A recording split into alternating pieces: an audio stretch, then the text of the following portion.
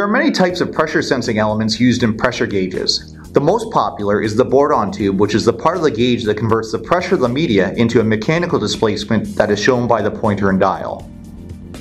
The C-shaped bourdon tube is found in gauges measuring pressures from 15 psi up to 1000 psi.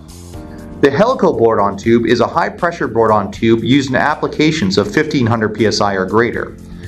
The coiled portion of the bourdon tube enables it to withstand higher pressures. Winter's bourdon tubes are seamless, which means there are only two weld points throughout the wetted parts, where the tube contacts the socket and at the end of the tube which provides a seal. The capsule or clamshell type movement is used in low pressure applications where the pressure is less than 10 psi. Unlike the C and helical tubes that move vertically, the capsule sensor moves horizontally to measure pressure.